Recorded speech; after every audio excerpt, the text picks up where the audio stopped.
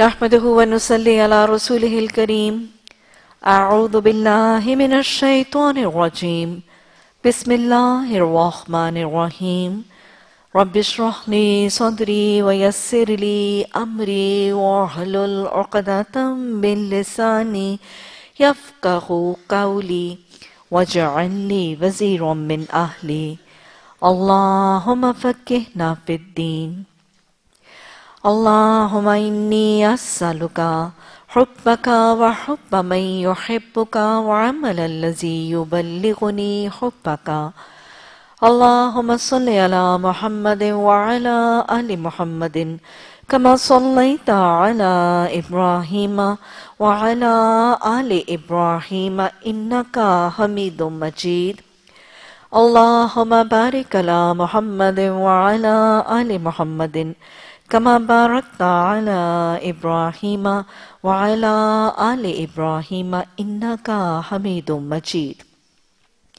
شرع أبواب الاعتكاف. اعتکاف کا روٹ ورڈ عین، کاف، فا. اقفا کا مطلب ہے لغت کے حوالے سے لازم پکڑنا کسی چیز کا. کسی کام کا، کسی چیز کا، کسی فیل کا لازم پکڑنا۔ لغوی اعتبار سے ایک اور مطلب اپنے نفس کو بند کرنا۔ اور یا کٹ جانا۔ کٹ جانا، الگ ہو جانا، ہٹ جانا۔ تو اگر آپ ان سارے لغوی معانی کو ملا کر جوڑ لیں، تو اقفا کا مطلب کیا ہوگا؟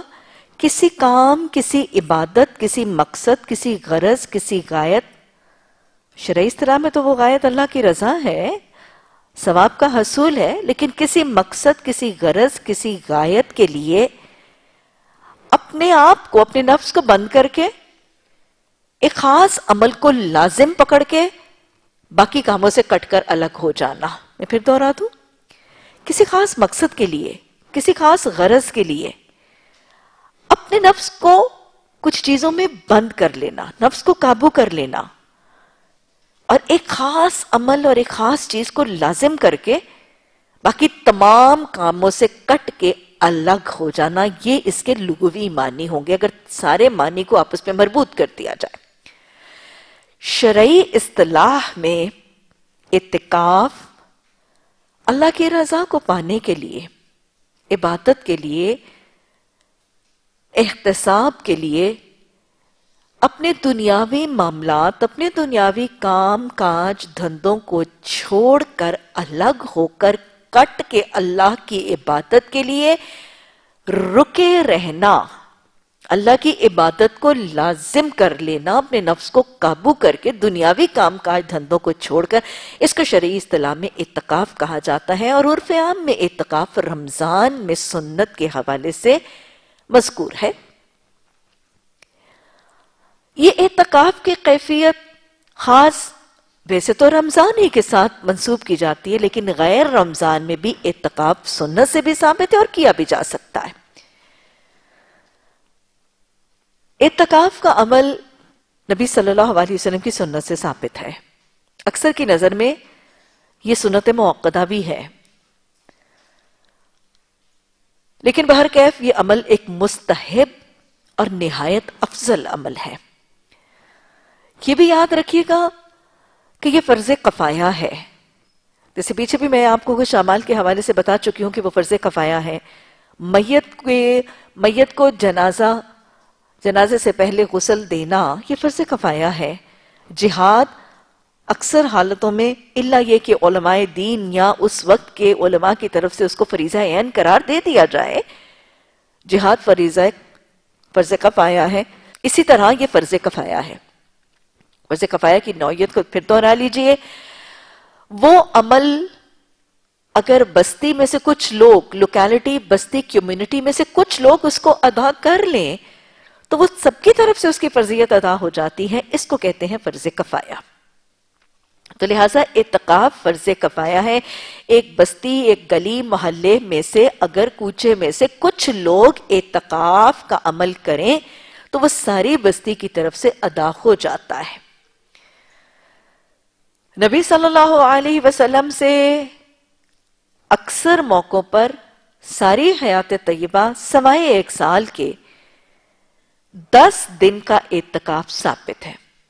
ایک سال آپ صلی اللہ علیہ وسلم نے بیس دن کا اعتکاف فرمایا، اس کا تذکرہ بھی آگے آتا ہے۔ لیکن دس سے کم دن کرنے حدیث اور سنت کے حوالے سے ثابت ہے اعتکاف ایک دن ایک رات کا بھی ہو سکتا ہے۔ ابھی آگے جا کے ہم حدیث پر بات کریں گے۔ تین دن، پانچ دن، سات دن، اس سے کم کی تعداد بھی ہو سکتی ہے۔ رمضان کے علاوہ بھی اعتکاف کیا جا سکتا ہے۔ اور اگر اس شرعی اصطلاح میں آخری اشرے میں اعتکاف نہ بھی ہو تو ایک عارضی سی کیفیت، ایک عارضی سی کیفیت جیسے فجر سے لے کے اشراق تک جو دنیاوی ذمہ داری کام کاج دھندوں بات چیز سے انسان کٹ کے الگ ہو کے فجر سے لے کے اشراق، اول وقت فجر سے لے کے اشراق تک بیٹھ کے کٹ کے عبادت کے لیے اپنے آپ کو مختص کرتا ہے، لازم پکڑتا ہے عبادت اور تسبیح کو، نفس کو روک کے رکھتا ہے اور کٹ کے الگ ہو جاتا ہے، یہ بھی ایک مختصر سا اتقاف ہی ہے۔ یہ بھی ایک مختصر سا اعتقاف ہی ہے اور اس کی اس کا اجر نبی صلی اللہ علیہ وسلم نے ایک حج اور ایک عمرے کے برابر قرار دیا ہے۔ اسی طرح رمضان میں دورہ قرآن کے دوران کسی کسی قرآن کی تلاوت کی نشست کے دوران بھی اعتقاف کی نیت کی جا سکتی ہے اور انشاءاللہ اللہ سے اس کا اس کا اجر جو ہے اس کی بھی امید رکھی جا سکتی ہے۔ بہرحال اتقاف رسول اللہ صلی اللہ علیہ وسلم سے دس ہی دن کا سنت سے ثابت ہے۔ ایک سال آپ صلی اللہ علیہ وسلم نے بیس دن کا اتقاف بھی فرمایا، لیکن کم دنوں کا اتقاف کرنا حدیث کے حوالے سے تاکید موجود ہے۔ یعنی اگر کوئی کم کا کرنا چاہتا ہے تو وہ کر سکتا ہے۔ اللہ سبحانہ تعالیٰ نے قرآن میں بھی اتقاف کا تذکرہ کیا۔ سورہ بکرہ میں اللہ سبحانہ تعالیٰ نے فرمایا، وَلَا تَبَاشِرُهُنَّ وَأَنْتُمْ وَلَا تَبَاشِرُهُنَّ وَأَنْتُمْ آكِفُونَ فِي الْمَسَاجِدِ کہ تم اپنی بیویوں کے ساتھ کیا کرنا، مباشرت نہ کرنا جب تم اعتقاف کی حالت میں ہو۔ تو یہاں سے آکفون فی المساجد۔ دو دو احکامات اعتقاف کے حوالے سے پتہ چلتے ہیں۔ ایک تو حوالہ یہ کہ اعتقاف مسجد میں ہے اور دوسرا معاملہ یہ کہ اعتقاف کے دوران خواتین کے ساتھ، اپنی بیویوں کے ساتھ، ازواج کے ساتھ مباشرت یعنی جمع کو منع کر دیا گیا۔ قرآن میں یہ حرام ہے۔ اسی طرح اللہ سبحانہ تعالیٰ نے حضرت ابراہیم اور حضرت اسماعیل سے وعدہ بھی لیا تھا۔ وَإِذْ أَحِدْنَا إِلَىٰ إِبْرَاهِيمَ وَإِسْمَاعِيلَ أَن طَهَّرَ بَيْتِي لِلطَّائِفِينَ وَالْعَاكِفِينَ وَالرُّكَّعِ السُّجُودِ تو یہاں پر بھی اعتقاف کا تذکرہ موجود ہے۔ یہ دونوں آیات سورہ بکرہ کی آیات ہیں۔ بہرحال اعتقاف کا تذکرہ قرآن میں بھی موجود ہے اور اعتقاف کے حوالے سے قرآن میں یہ دو احکامات بھی مذکور ہیں۔ اعتقاف کا سب سے پہلا حوالہ کہ اعتقاف کہاں کیا جائے گا۔ علماء کا اعتقاف کے حوالے سے اتفاق رائے ہے کہ اتقاف کا مسجد میں ہونا شرط ہے۔ جمہور علماء کی رائے میں پھر دہرا رہی ہوں، یہ ہے، اتفاق رائے سے جمہور علماء کی رائے یہ ہے کہ اتقاف کا مسجد میں ہونا شرط ہے۔ اور وہ حوالہ سورہ بکرہ کی آکفون فی المساجد کی آیت ہی کو حوالہ بناتے ہیں۔ اور نبی صلی اللہ علیہ وسلم کی سنت کہ آپ نے جب بھی اتقاف کیا، آپ نے مسجد نبی ہی میں اتقاف کیا۔ امام مالک کے نزدیک اتقاف ہر جگہ جائز ہے، کہیں بھی۔ جیسے نبی صلی اللہ علیہ وسلم نے فرمایا کہ میری ساری امت کے لیے روئے زمین کو، ساری روئے زمین کو مسجد بنا دیا گیا۔ تو امام مالک کی رائے یہ ہے کہ اتقاف کسی جگہ بھی کیا جا سکتا ہے۔ امام ابو حنیفہ اور امام شافعی رحمت اللہ علیہ، ان کی رائے یہ ہے کہ عورت کو اپنے گھر گھر کی مسجد میں اتقاف کرنا جائز ہے۔ کو ہے اس کا مطلب کیا ہے؟ کہ گھر میں کوئی ایک الگ ایسا گوشہ، ایسا خطہ، ایسا علاقہ بنا لیا جائے جو اس کی سجدے اور نماز کی جگہ ہو اور وہ گھر کے اس علاقے میں کٹ کے وہیں کی ہو کے رہے۔ تو گھر کی مسجد سارے گھر میں نہیں گھر کی مسجد میں، گھر کی مسجد کا مطلب وہ خاص علاقہ جو اسے اتقاب کے لیے مختص کر دیا گیا ہے۔ پورے گھر میں سے کوئی خاص علاقہ اور وہ اپنے آپ کو اس خاص علاقے تک روکے رکھے گی تو خاتون کے لیے امام ابو حنیفہ اور امام شافعی کی رائے میں گھر کی مسجد میں عورت کے لیے اعتکاف کرنا جائز ہے۔ امام مالک کی رائے یہ ہے کہ مردوں اور عورتوں کے لیے گھر میں اعتکاف کرنا جائز ہے۔ پیچھے میں نے آپ کو ان کی رائے بتائی کہ ہر جگہ اعتکاف کرنا جائز ہے۔ اور ان کی رائے یہ ہے کہ مردوں اور عورتوں کے لیے گھر میں اعتکاف کرنا جائز ہے۔ اور وہ حوالہ اس حوالے سے دیتے ہیں کہ وہ کہتے ہیں کہ نفل عبادت گھر میں افضل ہے۔ اور اعتکاف چونکہ فرض نہیں ہے، تو لہٰذا امام مالک کی رائے یہ ہے کہ چونکہ ہر نفل عبادت اور ہر نفل عبادت کا تذکرہ آپ نے اور تاکید آپ نے گھر میں کرنے کا تذکرہ فرمایا کہ پیچھے ہم پڑھ چکے ہیں وضاحت سے۔ تاکہ اس میں ریا نہ ہو، تاکہ اس میں دکھاوے کا ایک عنصر نہ ہو، تو نوافل کا اہتمام اور نفل عبادات کا اہتمام گھر میں کرنا۔ افضل سمجھا گیا تو امام علی کے نزدیک اس حوالے سے اس کا کرنا بھی گھر میں ثابت ہے۔ امام ابو حنیفہ اور امام احمد بن حنبل کی رائے یہ ہے جب ان کی رائے مسجد کے حوالے سے ہو گئی تو ان دو ائمہ کی رائے یہ ہے کہ اعتقاف خاص طور پر اس مسجد میں کیا جائے گا جہاں پر با جماعت نماز کا اہتمام ہو رہا ہو۔ جہاں پہ باقاعدگی سے نماز کے قیام کا بندوبست ہو، اس نماز، اس مسجد ہی میں جائز ہے۔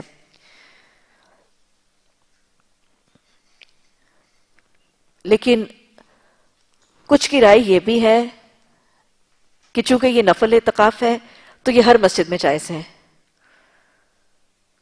جمہور علماء کی رائے یہ ہے کہ ہر وہ مسجد جس میں نماز کے قیام کے ساتھ جمعے کا اہتمام ہو اعتقاف صرف وہیں پہ جائز ہے۔ جمہور علماء کی رائے یہ ہے کہ وہ مسجد جس میں نماز کے قیام کے ساتھ جمعے کا اہتمام بھی ہو اعتقاف صرف وہیں پہ جائز ہے۔ اور امام شافعی کے نزدیک یہ مستحب ہے۔ امام شافعی کے نزدیک مستحب کیا ہے کہ انسان اس مسجد میں اعتقاف کرے جس میں نماز کے قیام کے ساتھ جمعے کا اہتمام بھی ہو۔ حالانکہ امام مالک کی رائے اس کے بالکل برعکس ہے۔ امام مالک کی رائے یہ ہے کہ وہ مسجد جس میں جمعے کا اہتمام ہے، جس میں جمعے جامعہ مسجد ہے اور اس میں جمعے کا اہتمام ہے، اس میں اتقاف درست نہیں ہوگا۔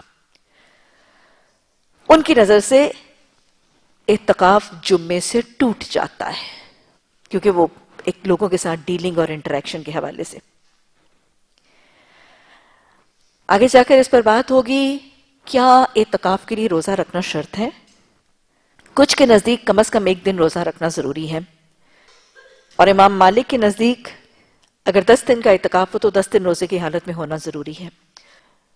اسی طرح ولا تماشرون ہننا وانتم آکفون فی المساجد۔ اعتقاف میں مباشرت کا معاملہ کیا ہے؟ انشاءاللہ آگے اور بھی اس پہ بات ہوتی ہے۔ متفقہ رائے ہے کہ جماعت سے جماعت سے اعتقاف فاسد ہو جاتا ہے۔ اور جو شخص جمع کرے گا اعتکاف میں، اس کو کفارہ لازم آئے گا۔ اور اس کا کفارہ مجاہد کے حوائد سے دو دینار ہے۔ جمع سے اعتکاف فاسد ہوگا۔ حسن اور زہری کی رائے ہے کہ جو اعتکاف میں جمع کا عمل کرے گا اس کو کفارہ واجب آئے گا۔ اور مجاہد کی روایت میں یہ کفارہ دو دینار ہے۔ البتہ اس کے علاوہ مباشرت کرنا، جس کی وضاحت میں پیچھے کر چکی ہوں، جسم کا جسم سے لگانا، یہ جائز ہے۔ لیکن اگر اس مباشرت سے منی یا انزال کا معاملہ ہو تو پھر اعتقاف باطل ہو جائے گا اور کفارہ واجب ہو جائے گا۔ اور اکثر کی نظر میں قضا بھی ادا ہوگی۔ حدیث نمبر 978 حضرت عائشہ رضی اللہ تعالی عنہ سے روایت ہے کہ آپ صلی اللہ علیہ وسلم کا دستور تھا کہ رمضان کی پچھلی دس راتوں میں اتقاف کیا کرتے تھے، یہاں تک کہ اللہ تعالیٰ نے آپ کی روح قبض کر لی پھر آپ صلی اللہ علیہ وسلم کے بعد آپ صلی اللہ علیہ وسلم کی ازواج متحرات نے اعتکاف کیا۔ گویا اعتکاف سنت موقدہ ہے۔ مسند احمد اور ابو داود البتہ اپنی کچھ حدیث کے حوالے سے اس کو سنت موقدہ نہیں، لیکن بال اتفاق اس کو سنت قرار دیتے ہیں۔ اسی طرح ایک حدیث آ رہی ہے، حضرت عائشہ رضی اللہ تعالیٰ عنہ کے حوالے سے کہ اگر ایک عورت کو حیض ہو، بیوی کو اگر حیض ہو تو وہ اپنے شوہر کے سر میں کنگھی اور تیل وغیرہ لگانے کا عمل کر سکتی ہے۔ حضرت عائشہ رضی اللہ تعالیٰ عنہ کی روایت سے حدیث آتی ہے کہ وہ فرماتی ہیں کہ آپ صلی اللہ علیہ وسلم میرے سر، اپنے سر کو میرے نزدیک کرتے تھے اور میں آپ کو کنگھی کرتی تھی اس حال میں کہ میں حیض کی حالت میں ہوں۔ اسی طرح باب نمبر دو اس بیان میں کہ اعتقاف والا داخل نہ ہو مگر حاجت کے واسطے۔ حدیث نمبر 979 حضرت عائشہ رضی اللہ تعالیٰ عنہ کی روایت سے حدیث ہے کہ آپ صلی اللہ علیہ وسلم داخل کرتے تھے مجھ پر اپنے سر کو۔ حالانکہ آپ مسجد میں ہوتے تھے اور میں آپ کو کنگھی کرتی تھی اور نہ داخل ہوتے تھے گھر میں مگر واسطے حاجت کے جبکہ اعتقاف میں ہوتے تھے۔ دو تین باتیں سمجھ میں آ رہی ہیں۔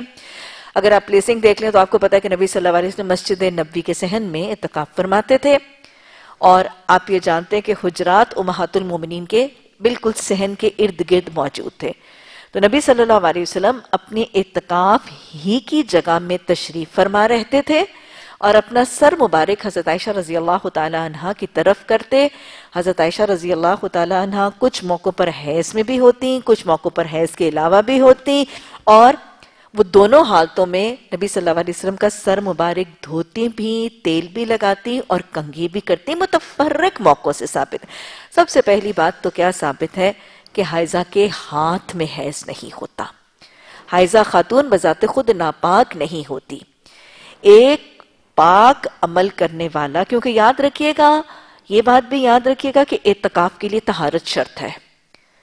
حیض کی حالت میں یا ناپاکی کی حالت میں، بہرکیف اعتقاف کا عمل جاری نہیں رہے گا۔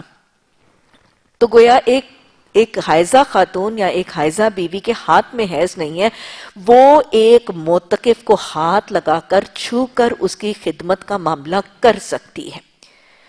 دوسری بات کہ ایک اعتقاف کرنے والے کی خدمت اور توازو کرنا، یہ بھی سنت سے ثابت، یہاں حدیث سے ثابت ہو رہا ہے۔ بیوی کا شوہر کی خدمت کرنا، یہ بھی حدیث سے ثابت ہو رہا ہے۔ اور حدیث کے الفاظ ہیں کہ جب ایک عورت اپنے شوہر کی خدمت میں ہوتی ہے، اس وقت اپنے رب کے قریب ترین ہوتی ہے۔ ازواج متحرات کا یہ نمونہ کہ اپنے شوہر نبی صلی اللہ علیہ وسلم کی کثرت سے ہر قسم کی خدمت کرتی بھی نظر آ رہی ہیں۔ اور دوسری بات یہ کہ حضرت عائشہ رضی اللہ تعالی عنہ یہ فرما رہی ہیں کہ آپ بغیر حاجت کے اپنے گھر میں داخل نہیں ہوتے تھے۔ بغیر حاجت کے گھر میں داخل نہیں ہوتے تھے۔ گویا حاجت کے حالت میں گھر میں داخل ہونے کا جواز موجود ہے۔ آگے جا کے آپ واقعہ پڑھیں گے۔ اور پھر یہ بھی پتا چل رہا ہے کہ اعتقافی حالت میں سرد ہونا کنگھی کرنا، تیل وغیرہ لگانا، یہ بھی جائز ہے۔ بس اوقات کچھ لوگ یہ کہتے ہیں کیا کیا اعتقاف میں ہم غسل کر سکتے ہیں؟ کیا ہے؟ اتہور شطر الایمان تہارت نصف ایمان ہے۔ آپ مجھے دیکھیں کہ وہ حالت کہ اعتقاف تو تہارت اور پاکی کے بغیر ممکن ہی نہیں ہے، تو لہٰذا غسل کرنا، صاف ستھرے کپڑے پہننا، کنگھی کرنا، تیل لگانا یا وہ بیئر منیمم سا لوشن وغیرہ لگانا، یہ اعتقاف میں منع نہیں ہے کوئی دنیا داری نہیں ہے۔ یہ اپنے آپ کو اپنا وقار اور اپنے، اپنی اس کیفیت کو ہاں بے جا کا وقت کا اسراف اور ضیاع کرنے کے لیے بار بار غسل کرنا اور بار بار جو ہے وہ کپڑوں کا بدلنا وغیرہ یا کوئی دکھاوے کے لیے کرنا یا نمود و نمائش کے چکر یہ جائز نہیں ہے اور یہ تو نارمل حالات میں بھی پسندیدہ نہیں ہے، لیکن ایک فطری قدرتی ضرورتوں کے لیے غسل کرنا اور پاکی صاف اور طہارت حاصل کرنے کے لیے کپڑے وغیرہ تبدیل کرنا یہ ناجائز نہیں ہے۔ اکثر اکثر رمضان کے مہینے میں جب خواتین اعتقاف کے لیے جانے سے پہلے یہ سوال مجھ سے ضروری ہوتا ہے، کیا نہ آنا جائز ہے؟ یہ تو خالص ایک دنیا کا عمل ہے۔ دنیا کا عمل نہیں ہے، یہ پسندیدہ ہے اور اس کو کیا جائے گا؟ بس کہ اس میں وقت کا ضیاع اور باقی معاملات شامل نہ ہوں۔ اسی طرح یہاں سے یہ بھی پتا چل رہا ہے کہ وہ اپنے اعتقاف کی جگہ سے نہیں نکلتے تھے، مگر حاجت کے واسطے۔ سو حاجت کے واسطے نکلا جا سکتا ہے۔ اور یہ حاجت کیا ہے؟ رفع حاجت کرنا، غسل کرنا۔ مثلا آپ دیکھیں ہاں جی یہ بھی یاد رکھیے گا کہ اگر کسی شخص کو احتلام ہو جائے، اگر اگر اعتقاف کے دوران دوران احتلام ہو جائے تو احتلام سے ہم نے پیچھے دیکھا تھا، اسے روزہ بھی نہیں ٹوٹتا، صرف غسل واجب آتا ہے۔ تو اسی طرح اگر متقف محتلم ہو جائے تو صرف غسل واجب ہوگا، لیکن اسے اعتقاف فاسد نہیں ہوگا اور نہ ہی اعتقاف ٹوٹے گا۔ تو لہٰذا حاجت کیا ہے؟ اگر رفع حاجت ہے یا غسل وغیرہ کی حاجت ہے یا مجبوری کی حالت میں کھانے پینے کی حاجت ہے۔ آپ دیکھیں، یہ تو آج ہماری مسجدیں ہیں نا، کہ ان میں ساتھ اٹیچ جو ہیں واش رومز ہیں اور رفع حاجت کا بندوبست ہے یا کھانے پینے کا بندوبست کر دیا جاتا ہے آج مساجد میں۔ لیکن آپ سوچیں کہ اس قسم کا سیٹ اپ جہاں مسجد کے اندر کھانے پینے کا بندوبست نہ ہو اور جہاں پہ غسل یا طہارت وغیرہ کے معاملات کا بندوبست نہ ہو، تو ایسی حالت میں یہ سب چیزیں کیا ہیں؟ یہ حاجات ہیں اور یہ ضروری حاجات ہیں۔ تو ان کی غرض سے اگر کوئی شخص مسجد کی اعتقاف کی جگہ سے اپنے گھر آنا چاہتا ہے، اپنی ان قدرتی حاجتوں کو پورا کرنے کے لیے، تو ایسی حالت میں یہ چیز جائز ہے۔ آپ دیکھیں ہمارا دین پریکٹیکل ہے۔ لیکن بغیر وجہ کے جب اپنی مسجد اور اپنی اعتقاف کی جگہ پر سب سہولتیں میسر ہیں، تو پھر یہ بھی جائز حاجات نہیں رہیں گی۔ اگر کوئی وضو کے لیے، غسل کے لیے، کھانے کے، پینے کے لیے، اگر یہ فیسلٹیز اس کو وہاں پہ اعتقاف کی جگہ میں مسجد میں میسر نہیں ہے اگر وہ نکلے گا تو اس سے اس کا اعتقاف باطل نہیں ہوگا۔ بشرطے کہ صرف اس مقصد کے لیے نکلا ہے اور یہ مقصد پورا کرنے کے بعد وہ واپس اپنے اعتقاف کی جگہ پر حاضر ہوتا ہے اور بے وجہ اپنے اپنے قیام کو لمبا نہیں کرتا اور صرف ان غرض اور مقاصد سے نکلتا ہے۔ اسی طرح ابو داؤد میں حضرت عائشہ رضی اللہ تعالیٰ عنہ کی روایت سے حدیث آتی ہے کہ آپ صلی اللہ علیہ وسلم کی سنت ہے اتقاف والے پر کہ نہ وہ پوچھے کسی بیمار کو اور نہ حاضر ہو کسی جنازے میں اور نہ وہ صحبت کرے اور نہ وہ مباشرت کرے اور نہ وہ نکلے کسی کام کے لیے مگر اس کام کے لیے جو اس کی جائز حاجت ہو۔ تو یہاں پہ حضرت عائشہ نے کیا چیزیں بتا دی موتقف کے لیے سنتیں کیا ہیں؟ کہ وہ عیادت اور بیمار پرسی کے لیے نہیں نکلے۔ گا آپ کو پتا ہے عیادت اور بیمار پرسی کتنا افضل عمل ہے اور کتنی اس کی تاکید ہے؟ لیکن یہ اتنی بڑی نیکی کا کام کرنے والا بھی یہ کون نہیں کرے گا؟ اعتقاف والا نہیں کرے گا۔ جنازے میں جانا کتنا بڑا اجر ہے، ساتھ جانا لیے ایک کراط ہے اور تدفین تک بیٹھنے والے کے لیے دو کراط ہے اور مومن کا مومن پر حق ہے کہ وہ جنازے کے ساتھ جائے، لیکن موتقف نہ عیادت کرے گا، نہ جنازے کے ساتھ جائے گا، اسی طرح نہ اپنی بیوی کے ساتھ صحبت کرے گا، نہ مباشرت کرے گا۔ ہاں صرف حاجت کے تحت نکلنے کی اجازت موجود ہے۔ اور میں نے آپ کو پھر واضح کر دوں، حاجت بھی محض تب جب اعتقاف کی جگہ اور مسجد میں وہ حاجات میسر نہ ہو اور نکلنے والا جائز حاجت سے نکلے اور محض اتنی دیر نکلے جتنی دیر اس کو حاجت کی تکمیل کے لیے ضروری ہے۔ اور اکثر کی رائے یہ ہے کہ اگر ان میں سے یہ جو اوپر عیادت اور جنازہ اور ان تارے معاملات کے لیے اگر نکلتا ہے تو اکثر کی رائے یہی ہے کہ پھر اس کا اتقاف باطل ہو جاتا ہے۔ اسی طرح ایک حدیث حضرت عائشہ رضی اللہ تعالیٰ عنہ کی روایت سے آتی ہے کہ آپ میرے بدن سے بدن لگاتے تھے یعنی مباشرت کرتے تھے، اس حال میں کہ میں حیث سے ہوتی تھی اور اپنا سر مسجد سے نکالتے تھے۔ حالانکہ آپ اتقاف میں ہوتی تھی اور میں دھوتی تھی، آپ کا سر اور میں حیض میں ہوتی تھی۔ حضرت ابن عمر کی روایت سے اچھا جی باب نمبر تین۔ باب نمبر تین میں یہ کہ اعتقاف کرنے والا بغیر دن کے صرف رات ہی کا اعتقاف کرے تو کیا حکم ہے؟ حضرت ابن عمر رضی اللہ تعالی عنہ ان۔ آپ دیکھیں کہ میں نے آپ کو بتایا کہ نبی صلی اللہ علیہ وسلم کی سنت دس دن ہے۔ ایک سال بیس دن ہے، لیکن اس سے کم بھی اعتقاف کیا جا سکتا ہے اور غیر رمضان میں بھی کیا جا سکتا ہے۔ حضرت ابن عمر رضی اللہ تعالیٰ عنہ کی روایت ہے کہ حضرت عمر رضی اللہ تعالیٰ عنہ نے آپ صلی اللہ علیہ وسلم سے پوچھا کہ میں نے جاہلیت میں نظر مانی تھی کہ میں اعتقاف کروں گا ایک رات مسجد حرام میں یعنی کعبے کی مسجد میں۔ تو آپ نے فرمایا کہ اپنی نظر کو پورا کرو۔ پہلی بات کیا پتا چل رہی ہے؟ نظر ماننے کی اجازت ہے۔ دوسری بات نظر شرعی طور پر جائز چیزوں کی مانگی جائے گی۔ تیسری بات، مومنوں کی صفت ہے کہ وہ کیا کرتے ہیں؟ جب وہ نظر مانتے ہیں تو اپنی نظر کو پورا کرتے ہیں۔ تیسری بات کے بعد، اگلی بات، غیر رمضان اور رمضان دونوں میں مختصر اعتقاف بھی کیا جا سکتا ہے۔ پھر ایک اور بات، ایک اور بات کہ جہاں نظر روزے کی، نوافل کی، حج کی، عمرے کی نظر مانی جاتی ہے، وہاں اعتقاف کی بھی نظر مانی جا سکتی ہے یعنی اعتقاف کی، عبادت کی نظر ماننا بھی درست ہے۔ اور پھر یہ بھی پتا چل رہا ہے کہ خانہ کعبہ میں، خانہ کعبہ میں عبادت کرنا، خانہ کعبہ میں نفل پڑھنا یا خانہ کعبہ میں اتقاف کرنے کی نظر ماننا بھی درست ہے۔ کیونکہ آپ کو پتا ہے کہ تین مسجدوں کے حوالے سے آپ نے عبادت کی خاص اجازت دی۔ اور پھر آپ صلی اللہ علیہ وسلم کا یہاں سے یہ بھی حوالہ پتا چل رہا ہے کہ آپ نے اس ایک دن یا ایک رات کی اتقاف کی نظر کو پورا کرنے کا حکم دیا اور ساتھ آپ نے روزہ رکھنے کا حکم نہیں دیا۔ گویا بغیر روزے کے بھی اتقاف ممکن ہے۔ اور دوسری بات، ایک دن ایک رات یا صرف ایک رات کا اتقاف بھی حدیث کے اس حوالے سے ثابت ہے۔ یہاں پر حضرت عمر نے یہ فرمایا کہ میں نے جاہلیت کے زمانے میں نظر مانی تھی۔ اس کی وضاحت کے لیے حدیث کی شرح میں دو حوالے آتے ہیں۔ اکثر روایات یوں بیان کی جاتی ہے کہ یہ مکالمہ نبی صلی اللہ علیہ وسلم کا اور حضرت عمر رضی اللہ تعالیٰ عنہ کا فتح مکہ کے موقع پر ہوا۔ اور حضرت عمر نے کیا فرمایا؟ کہ میں نے اپنے قبول اسلام کے بعد ظاہر اتقاف اور نظر کا تصور حضرت عمر فرماتے ہیں کہ میں نے اپنے قبول اسلام کے بعد لیکن مکہ کے دور جاہلیت۔ کیونکہ اس سے پہلے کیا تھا؟ مکہ جاہلیت کے دور کے اندر یعنی بھی مشکین کا ہی کنٹرول اور ہولڈ تھا۔ تو ایک معاملہ تو یوں بیان کیا جاتا ہے کہ حضرت عمر نے کیا کہا؟ میں نے مکہ کے فتح ہونے سے پہلے جب تک مکہ میں مکہ میں اور حرم کے گرد جاہلوں اور قریش کے مشرقوں کا قبضہ تھا، میں نے اس دور میں اپنے قبول اسلام کے بعد یہ نظر مانی تھی کہ میں حرم میں اتقاف کروں گا۔ تو اب یا رسول اللہ صلی اللہ علیہ وسلم اسلام غالب آ گیا ہے، مکہ فتح ہو گیا ہے، مکہ سے جاہلیت کے اثرات ختم ہو گئے ہیں اور مکہ اب ہمارے لیے کھل بھی گیا ہے۔ تو اب میں اس نظر کو پورا کر لوں۔ اور کچھ روایات میں یہ بھی وضاحت آئی ہے کہ وہ یہ، یہی اس کی شرح بتائی جا رہی ہے کہ حضرت عمر نے اپنی جاہلیت کے دور یعنی قبول اسلام سے پہلے یہ منت مانی تھی، یہ نظر مانی تھی اور پھر فتح مکہ کے بعد جب اس کا تذکرہ کیا، کیونکہ آپ کو بتائیں نا فتح مکہ نہ فتح مکہ سے پہلے نہ مکی دور میں، نہ مدنی دور پہ مسلمانوں کے لیے تو کسی قسم کا تصور نہیں تھا، وہ نہیں کر سکتے تھے اتقاف تو جب فتح مکہ ہوا، تو انہوں نے کہا کہ میں نے اپنے قبول اسلام سے پہلے نیت مانگی تھی۔ نظر مانی تھی، تو کیا میں پورا کروں؟ تو آپ نے اس کی اجازت دی۔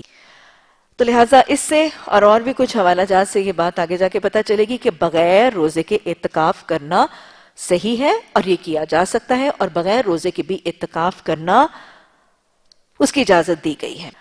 اچھا جناب اب اس کے حوالے سے میں ایک اور چیز آپ کو بتاتی جاؤں کہ خواتین کا اتقاف اور اس کے معاملات کیا ہیں۔ خواتین اتقاف کر سکتی ہیں۔ صحابیات، امہات المومنین سے اتقاف کا کرنا ثابت ہے۔ ابھی آپ ایک حدیث پڑھیں گے کہ نبی صلی اللہ علیہ وسلم کی ازواج متحرات نے آپ سے اجازت لی اور انہوں نے خیمے گاڑنے شروع کر دیے مسجد نبی کے سہن میں۔ تو گویا مسجد نبی کے سہن میں یا کسی اور مسجد کے سہن میں یا اس کے معاملات میں اتقاف کے لیے خیمے وغیرہ گاڑے جا سکتے ہیں اور خواتین بھی مسجد میں اتقاف کر سکتی ہیں۔ اور خواتین اگر مسجد میں اتقاف کریں گی تو ان کے لیے الگ خیمے ہوں گے۔ خواتین کے حوالے سے ان کے حیض کا معاملہ۔ اگر ایک خاتون اگر ایک خاتون جو اعتقاف کا آغاز کرتی ہے، چاہے اس کو پہلے معلوم ہے اور چاہے اس کو اس کا علم نہیں بھی ہے، لیکن اگر اس کو حیض کے دوران اعتقاف کے دوران حیض کا آغاز ہو جائے تو پھر اس کا معاملہ کیا ہوگا؟ اس کا اعتقاف ٹوٹ جائے گا۔ کیونکہ میں نے ابھی آپ کو ابتدا ہی میں بتایا کہ اعتقاف کے لیے تہارت شرط ہے۔ اعتقاف ٹوٹ جائے گا، وہ اعتقاف کی جگہ سے نکل جائے گی اعتکاف کی پابندیوں سے آزاد ہو جائے گی، لیکن اس کو اس کی قضا ادا کرنی ہوگی۔ رمضان میں اگر اس نے رمضان کے مہینے میں اگر ایک خاتون اتقاف کی نیت کرتی ہے اور حیث کی وجہ سے اس کا اتقاف ٹوٹ جاتا ہے، تو اس نے جتنے دنوں کی نیت کی تھی یا جتنے دنوں کی ارادے سے اس نے اتقاف کا آغاز کیا تھا، اس کو اتنے دنوں کی قضا ادا کرنی واجب ہوگی۔ اللہ یہ کہ اتقاف کی نیت کرتے وقت اس نے مشروط نیت کی ہو۔ یعنی اس خاتون کو اگر پہلے ہی پتا ہو کہ حیض آنے والے ہیں، امکان ہے کہ حیض کا آغاز ہو اور وہ پہلے ہی اللہ سبحانہ تعالیٰ سے اس نیت اور ارادے سے اپنے اتقاف کا آغاز کرے کہ اللہ سبحانہ تعالیٰ اگر میرا حیض نہ آیا اور حیض کا آغاز نہ ہوا تو میں اس اعتکاف کو تکمیل تک پہنچاؤں گی اور اگر حیض درمیان میں آ گئے تو پھر میں اس کو پورا کرنے کی قدرت نہیں پاؤں گی۔ تو اس مشروط انداز میں اگر نیت کی جائے، بولنے کے الفاظ نہیں، یہ دل کی حالت ہے۔ اس انداز میں اگر نیت کی جائے تو کچھ کے نزدیک ایسے مشروط نیت سے کیے جانے والے اتقاف کی قضا واجب نہیں ہے۔ خاتون اگر مسجد میں اتقاف کرے یا اپنے گھر میں اتقاف کرے، اس کو اپنی شوہر کی مرضی اور اس کی رضا کے ساتھ اتقاف کا آغاز کرنا ہے۔ لیکن یہ یاد رکھیے کہ شوہر کے لیے یہ پسندیدہ ہے کہ ایسے عمل کے لیے اس کو اجازت دے۔ اور یہ بھی آئمہ اکرام کی رائے ہے کہ شوہر ایک دفعہ اگر بیوی کو اجازت دے دے اور وہ اپنے اتقاف کا آغاز کر لے، تو یہ شوہر کے لیے ناپسندیدہ ہے کہ اس کو توڑنے کا حکم دے۔ لیکن کچھ کی رائے یہ ہے کہ اگر شوہر اپنی بیوی کو اتقاف کے توڑنے کا حکم دے تو اس کو توڑ دینا چاہیے۔ کیونکہ آپ صلی اللہ علیہ وسلم کا حوالہ موجود ہے کہ اگر بیوی کو شوہر اس کا نفل روزہ توڑنے کا حکم دیتا ہے، تو اس کو توڑ دینا ہے روزہ، تو اتقاف بھی نفل عبادت ہے۔ لیکن آئمہ کی رائے میں شوہر کو بیوی کو اتقاف کی اجازت دینے کے بعد اس کو توڑنے کا حکم جو ہے وہ انتہائی ناپسندیدہ ہے۔ اتقاف کے بیٹھنے کا وقت کیا ہوگا؟ چاروں آئمہ کی یہ متفق رائے ہے۔ کہ سورج کے ڈوبنے سے تھوڑی دیر پہلے اپنے اتقاف کی جگہ میں داخل ہو جائے یعنی افطار کے وقت۔ جس رات سے اس نے اپنے اتقاف کا آغاز کرنا ہے، افطار کے وقت سے تھوڑی دیر سے پہلے وہ اپنے اتقاف کی جگہ میں داخل ہو جائے۔ اور اتقاف کی تکمیل کب ہوگی؟ جب روحت ہلال، جب سورج چاند کے نظر آنے کی خبر جیسے ہم پیچھے پڑھ چکے ہیں، گواہی آئے گی، تو اس کے بعد وہ موتقف اپنے اتقاف کی جگہ سے نکل سکتا ہے۔ باب نمبر چار، مسجد میں خیمے یا تمبو وغیرہ گاڑنا حدیث نمبر 981 حضرت عائشہ رضی اللہ تعالی عنہ سے روایت ہے کہ آپ صلی اللہ علیہ وسلم نے اتقاف کا ارادہ کیا۔ پھر جب آپ پھرے طرف اس مکان کے یعنی جہاں پہ آپ نے اتقاف کا ارادہ کیا تھا، تو آپ نے دیکھا کہ کئی خیمے ہیں۔ ایک حضرت عائشہ رضی اللہ تعالیٰ عنہ کا، ایک حضرت حفظہ کا، ایک حضرت زینب رضی اللہ تعالیٰ عنہما کا۔ تو آپ نے فرمایا، کیا تم ان عورتوں کے ساتھ اس کام میں بھلائی کا گمان کرتے ہو؟ پھر آپ صلی اللہ علیہ وسلم اتقاف سے پھرے اور اتقاف نہیں کیا۔ یہاں کہ اس کے بدلے آپ صلی اللہ علیہ وسلم نے شوال کے دس دنوں میں اتقاف کیا۔ اس سے چھوٹے چھوٹے جو مختلف مسائل پتہ چل رہے ہیں، ایک تو یہ، واقعہ اصل میں کچھ ایسا ہوا تھا کہ جب آپ صلی اللہ علیہ وسلم نے اس سال اتقاف کی نیت کی، تو امہات المومنین میں نے ایک کے بعد دوسری ام المومنین نبی صلی اللہ علیہ وسلم کی اتقاف کی اجازت مانگی۔ سب سے پہلے حضرت عائشہ نے اجازت مانگی، آپ صلی اللہ علیہ وسلم نے اجازت برحمت فرمائی۔ حضرت عائشہ نے اپنا خیمہ گاڑ لیا۔ اس کے بعد حضرت حفظہ نے اجازت مانگی، پھر حضرت زینب نے اجازت مانگی اور پھر ایک کے بعد ایک ساری امہات المومنین جو آپ کے عقد نکام میں اس وقت موجود تھی سب نے اجازت لے لی۔ آپ عدل بھی تو کرتے تھے نا۔ تو لہٰذا جب آپ نے ایک کو اجازت دی تو آپ نے سبھی کو اجازت دی تھی۔ اور جب آپ سب کو اجازت مل گئی تو سب نے اپنے خیمے جب مسجد نبی کے سہن میں گاڑے، تو آپ صلی اللہ علیہ وسلم اپنے اپنے اعتقاف کی جگہ کے حوالے دیکھنے کے لیے جب آئے تو آپ نے دیکھا کہ مسجد نبی میں اتنے خیمے لگے ہیں تو آپ نے فرمایا، تم ان عورتوں سے بھلائی کا ارادہ کرتے کہ میں نے ان میں سے ایک کو اجازت دی دوسری کو دی وہ ساری کرنے لگی۔ تو لہٰذا پھر آپ صلی اللہ علیہ وسلم نے اس دن، اس سال پھر کیا کیا کہ آپ نے اس سال حضرت عائشہ فرماتی ہیں، پھر آپ نے اتقاف نہیں کیا۔ کوئی ایک بات یہ پتہ چل رہی ہے کہ بیوی کو شوہر سے اجازت لینی ضروری ہے۔ شوہر اگر اجازت دے دے تو وہ مسجد میں بھی اتقاف کر سکتی ہے۔ مسجد میں خواتین کے اتقاف کے لیے خیمے گاڑے جا سکتے ہیں اور ویسے بھی مسجد میں مردوں اور عورتوں کے اتقاف کے لیے دونوں ہی کے لیے خیمے گاڑے جا سکتے ہیں۔ خیمے گاڑنے کے بعد جب تک اتقاف کا آغاز نہ ہو، وہ خیمے وہاں سے اٹھا کر اتقاف کو مؤخر کیا جا سکتا ہے۔ ہاں اگر کوئی شخص اتقاف میں داخل ہو جائے تو پھر اس کو توڑنا جو ہے وہ بغیر کسی عذر کے جائز نہیں ہے اور اس حالت میں بھی اس کی قضا واجب ہوگی۔ رسول اللہ صلی اللہ علیہ وسلم نے اس موقع پر اتقاف نہیں کیا اور رمضان میں اتقاف نہیں کیا اور اس اتقاف کے بدلے شوال میں آپ صلی اللہ علیہ وسلم نے دس دن کا اتقاف کیا۔ گویا کیا پتا چل رہا ہے کہ اگر کوئی شخص اتقاف کی نیت کرے یا اتقاف کا آغاز کرے اور اس کو تکمیل تک نہ پہنچا سکے تو پھر کیا کرنا ہے؟ اس کو اس کی قضا دینی ہے۔ اور یہ قضا کب کی جائے گی؟ رمضان کے بعد ادا کی جائے گی۔ ایک اور بات بھی یہ پتہ چل رہی ہے کہ وہ عبادات جن کی قضا واجب ہے، ان کو جلد از جلد ادا کر دینا بہترین اور پسندیدہ ہوگا۔ اور پھر یہ پتا چل رہا ہے کہ جتنے جتنے دنوں کے اعتقاف کی نیت کی گئی تھی، اتنے ہی دنوں کے اعتقاف کی قضا ادا کی جائے۔ اگر دس دنوں کی نیت کی گئی ہے تو پھر قضا بھی دس دنوں ہی کی واجب الادا ہوگی۔ اب یہاں سے ایک اور مسئلہ کہ کیا بغیر روزے کے یا بغیر رمضان کے اتقاف کیا جا سکتا ہے۔ یہاں سے پھر اس کا حوالہ ملتا ہے، کیونکہ آپ جانتے ہیں کہ شوال کے پہلے دو دن، خاص طور پہ شوال کی پہلی تاریخ عید کی تاریخ ہے۔ اور یہ وہ دن ہے جس میں آپ نے خاص الخاص روزہ رکھنے سے منع فرمایا۔ حالانکہ آپ نے شوال میں اتقاف کیا۔ تو گویا یہاں سے اس واقعے سے اور پچھلے اور اس کے علاوہ کچھ واقعات سے لوگ اس بات کا جواز اخذ کرتے ہیں کہ بغیر روزے کے بھی اتقاف کیا جا سکتا ہے۔ باب نمبر پانچ۔ کیا جائز ہے کہ اتقاف والے کو یہ نکلے واسطے حاجروں کو حاجتوں کے اپنی مسجد کے دروازے تک؟ واقعہ ہے جی حدیث نمبر 982 میں ام المومنین حضرت صفیہ رضی اللہ تعالی عنہ سے روایت ہے کہ وہ آپ صلی اللہ علیہ وسلم کی ملاقات کو آئیں۔ اور آپ صلی اللہ علیہ وسلم رمضان کے آخری عشرے میں مسجد میں اتقاف بیٹھے تھے۔ سو وہ ایک گھڑی آپ کے ساتھ بات چیت کرتی رہیں۔ پھر اٹھ کر اپنے گھر کو چل دیں۔ آپ صلی اللہ علیہ وسلم بھی ان کے ساتھ اٹھ کر کھڑے ہو گئے اور ان کو گھر تاکہ ان کو گھر پہنچا دیں۔ یہاں تک کہ جب مسجد کے دروازے پر ام سلمہ رضی اللہ تعالی عنہ پہنچی تو انصار کے انصار کے دو مرد پاس سے نکلے۔ تو ان دونوں نے آپ صلی اللہ علیہ وسلم کو سلام کیا۔ اور چلے تو آپ صلی اللہ علیہ وسلم نے فرمایا کہ جلدی نہ کرو، ٹھہر جاؤ۔ یہ تو صفیہ بنت ہوئی ہیں یعنی یہ میری بیوی ہیں۔ کوئی اجنبی عورت نہیں ہے کہ تم لوگ بدگمانی نہ کرتے پھرنا تو ان دونوں انصاریوں نے کہا، اللہ پاک ہے۔ اے اللہ کے رسول صلی اللہ علیہ وسلم، آپ کے ساتھ میں بدگمانی کا کیا دخل ہے؟ اور نہیں ہم نے گمان کیا آپ کے ساتھ، مگر کسی بھلائی یا خیر کے علاوہ۔ تو یہ یہ بات تو ان پر بڑی شاک گزری کہ ہمیں اس بات کا وہم بھی ہو کہ ہم آپ صلی اللہ علیہ وسلم کے ساتھ کوئی ایسی بات منصوب کریں گے۔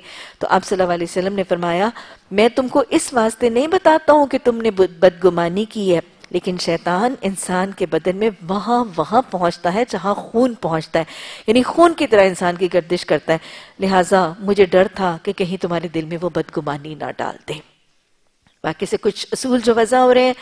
سب سے پہلے تو یہ کہ نبی صلی اللہ علیہ وسلم اعتقاف کی حالت میں رمضان میں ہے اور ام المومنین حضرت صفیہ رضی اللہ تعالیٰ عنہ آپ کی ملاقات کو آئی ہمیں واقعات سے پتہ چلتا ہے کہ صرف حضرت صفیہ رضی اللہ تعالیٰ عنہ یہ ایک موقع نہیں ہے۔ متفرق موقع پر امہات المومنین رسول اللہ صلی اللہ علیہ وسلم کی ملاقات کے لیے اعتقاف کی حالت میں ہونے کے باوجود آپ سے ملاقات کے لیے آتی تھی۔ یعنی رسول اللہ صلی اللہ علیہ وسلم میں متقف ہوتے تھے اور امہات المومنین آپ صلی اللہ علیہ وسلم کی ملاقات کے لیے تشریف لاتی تھیں۔ اور یہاں پر انداز کیا نظر آ رہا ہے کہ حضرت صفیہ تھوڑی دیر بات چیت کرنے کے لیے رکی اور پھر اٹھ گئی پہلی بات یہ سمجھ میں آ رہی ہے کہ رسول اللہ صلی اللہ علیہ وسلم کی اس سنت سے کہ ایک متقف شخص وہ مسجد میں ہے یا اپنی اتقاف کی جگہ پر ہے، اس کی زیارت کی جا سکتی ہے، اس سے ملاقات کی جا سکتی ہے۔ اور ملاقات مختصر رکھنی سنت سے ثابت ہے۔ یعنی یہ نہیں ہے کہ جیسے آج ہمارا کانسیپٹ ہے نا کہ آپ کسی کی شکل ہی نہیں دیکھ سکتے، آپ کسی سے بات ہی نہیں کر سکتے، ایسا تصور نہیں ہے۔ ضروری حد تک ایک مختصر سی ملاقات جو ہے وہ کسی سے بھی کی جا سکتی ہے اور ایک شوہر کی اپنی بیوی کے ساتھ اور بیوی کی اپنے شوہر کے ساتھ اتقاف یعنی اگر بیوی اتقاف میں بیٹھی ہے تو شوہر اسے کچھ دیر کے لیے مختصر بات چیت کر سکتا ہے اور اگر شوہر اتقاف میں بیٹھا ہے تو بیوی مختصر سی ملاقات جو ہے وہ بات چیت کی حد تک کر سکتی ہے۔ آپ دیکھیں یہ وہ رشتے اور معاملات ہیں کہ بس اوقات انٹریکشن جو ہے وہ کوئی ضروری باتوں کے حوالے سے بھی لازم ہے اور اس کی مجبوری ہو سکتی ہے تو اس کا جواز موجود ہے۔ دوسرا اس واقعے سے یہ بھی پتہ چلتا ہے کہ کہ ایک موتقف کے لیے وہ سارے عمل جو مباح ہے مثلا ملاقات کے اوپر اٹھ کے ملنا یا ملاقات کے اوپر سلام کرنا یا سلام کرنے والے کا جواب دینا جو نارمل مباح عمال ہے یہ سارے کے سارے ایک موتقف کر سکتا ہے۔ یعنی اگر وہ مسجد میں اعتقاف کی کیفیت میں بیٹھا ہے، تو یہ مطلب نہیں ہے کہ وہ اپنا منہ سر لپیٹ کے بیٹھے گا، کسی سے باتیں نہیں کرے گا، نہ کسی سے سلام کرے گا، نہ کسی کے سلام کا جواب دے گا، آنے والے کو نہ اٹھ کے ملے گا، نہ ہاتھ ملائے گا۔ یہ طریقہ ایک موتقف کے لیے نہیں ہے۔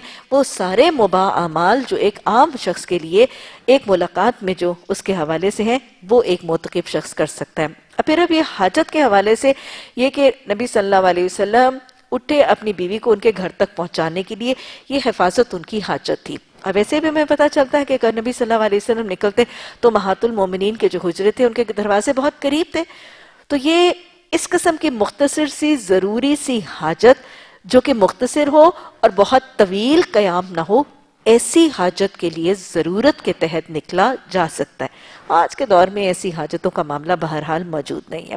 میں نے آپ کو کھانے، پینے، رفع حاجت، غسل کے معاملات بتائے، یا خواتین کا یہ سارا معاملہ جو ہے، یہ بہرکیف آج، اور ویسے یہ بھی بات پتہ چل رہی ہے کہ خواتین مسجد میں جا سکتی ہیں۔ خواتین مسجد میں جا سکتی ہیں اور خواتین مسجد میں جا کے اپنے شوہر سے بات چیت کر سکتی ہیں۔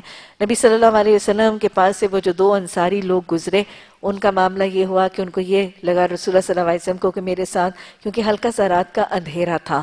روایت میں پتہ چلتا ہے کہ ہلکا سا اندھیرا تھا، پوری دن کی روشنی نہیں تھی، تو نبی صلی اللہ علیہ وسلم کو یہ لگا کہ شاید یہ پہچان نہ پائیں۔ اور ویسے کچھ روایات میں یہ بھی آتا ہے کہ پردے کے احکامات چونکہ آ چکے تھے، تو ام المومنین حضرت صفیہ رضی اللہ تعالی عنہ اپنے جلباب اور اپنے حجاب اور اپنے پردے کی حالت میں نکاب میں تھی۔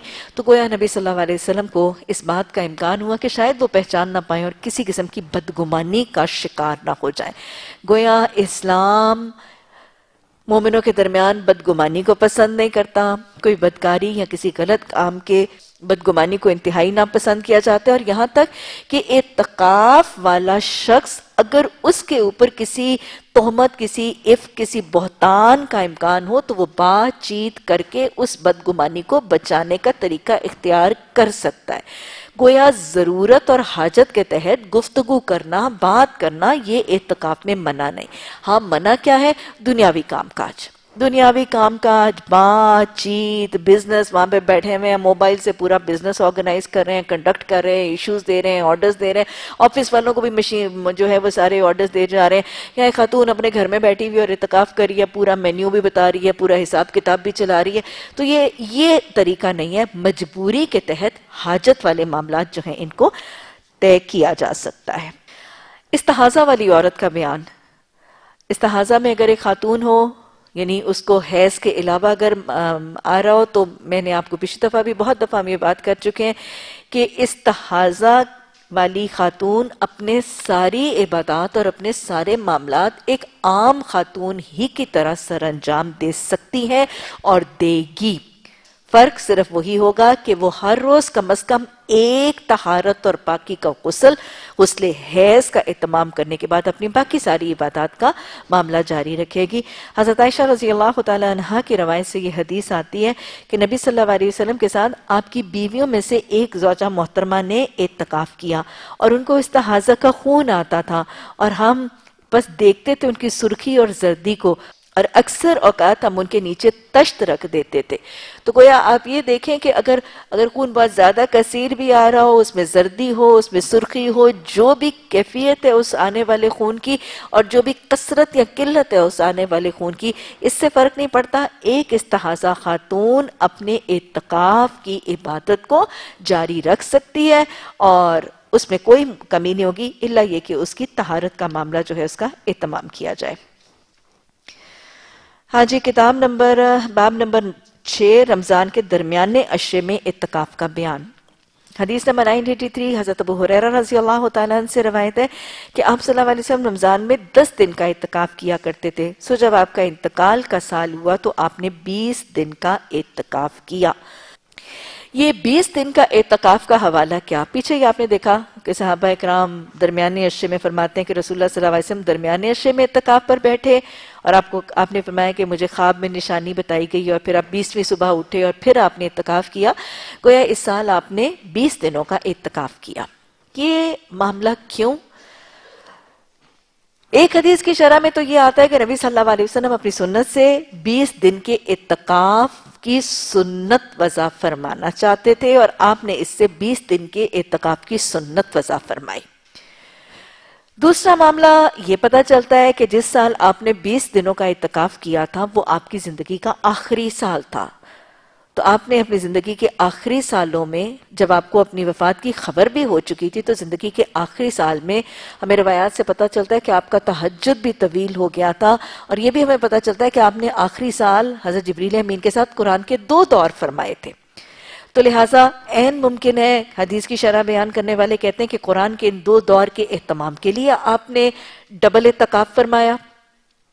لیکن کچھ کا حوالہ ہے کہ ایک سال آپ صلی اللہ علیہ وسلم اپنے کسی کسی مصروفیت کی وجہ پر، جو کہ اکثر روایات میں بتایا جاتا ہے کہ آپ سفر میں تھے۔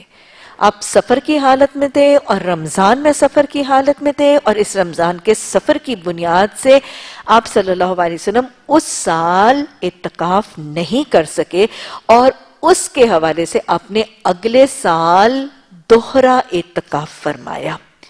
اور کچھ امہات المومنین کا وہ واقعہ کہ جس سال امہات المومنین کی وجہ سے آپ نے اتقاف نہیں کیا تھا، اگلے سال آپ نے دوہرا اتقاف فرمایا۔ مختلف توجیحات البتہ دی گئی ہیں، لیکن ہم جانتے ہیں کہ رسول اللہ صلی اللہ علیہ وسلم نے جس سال امہات المومنین کی وجہ سے اتقاف نہیں فرمایا تھا، پھر آپ نے شوال میں اس کی قضاء دا فرمائی تھی۔ اکثر روایات اور حوالہ جات جس حوالے سے جاتے ہیں وہ یہی ہے اور وہ درست حدیث سے ثابت ہے اور مغازی کے واقعات سے ثابت ہے کہ آپ صلی اللہ علیہ وسلم سفر پر تھے، ایک سال رمضان میں سفر کی بنیاد پر آپ نے اتقاف نہیں کیا تو اگلے سال آپ نے دس کی بجائے بیس دن کا اتقاف فرمایا۔ اللہ سبحانہ تعالی ہمیں یہ بہترین افضل عبادات اپنی زندگی میں، اپنی اولادوں اور اپنے ارد اپنے اہل خانہ کو اس کی طرف مائل اور قائل کرنے کی توفیق عطا فرمائے اور اللہ ہمیں رمضان کے احکامات کو اور روزوں کے احکامات کو بہترین طریقے سے سمجھ کر اپنے اگلے رمضان کو اس سے بہتر اور افضل رمضان بنانے، رب کی رضا پانے، جہنم سے نجات کے پروانے پانے اور جنت میں داخلے کے پروانے پانے کی توفیق عطا فرمائے۔ ربنا لا تزغ قلوبنا بعد إذ هديتنا وهب لنا من لدنك الرحمة إنك أنت الوهاب. سبحانك اللهم وبحمدك نشهد أن لا إله إلا أنت نستغفرك ونتوب إليك. سبحان ربك رب العزة عما يصفون وسلام على المرسلين والحمد لله رب العالمين.